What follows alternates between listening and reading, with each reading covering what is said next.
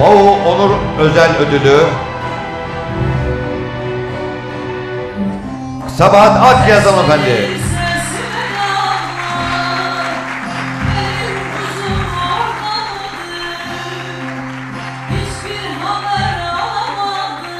Eserleri dünya müzik sıralamasında ilkler arasına girdi.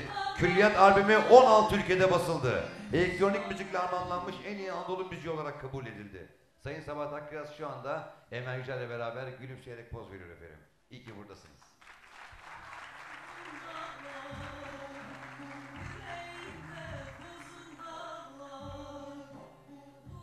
Enver Bey ödülü şu anda alıp takdim edecek Sayın Akkiraz'a.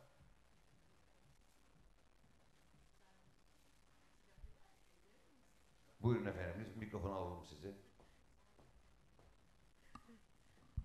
Merhabalar.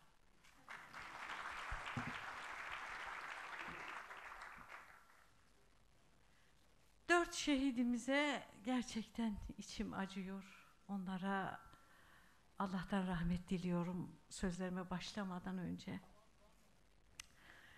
Öncelikle Bahçeşehir Üniversitesi'nin öğrencilerine, öğretim üyelerine, Enver Bey'in şahsında teşekkür etmek istiyorum. Çünkü biz sanatçılar ışığımızı ilimden alırız. İlimden gidilmeyen yolun sonunun karanlık olduğunu biliriz. Aydınlığa bakmak için de ilim yolunda, sanat yolunda, Atatürk'ün yolunda yürürüz. Ama ne yazık ki, ne yazık ki depremler, kadın cinayetleri, yaşam mücadelesi içinde büyük acılarda yaşıyoruz. Ödülümü katledilen kadınlarımıza ve asgari ücretle yaşamaya mahkum edilen onurlu emekçi halkımız adına alıyorum çünkü.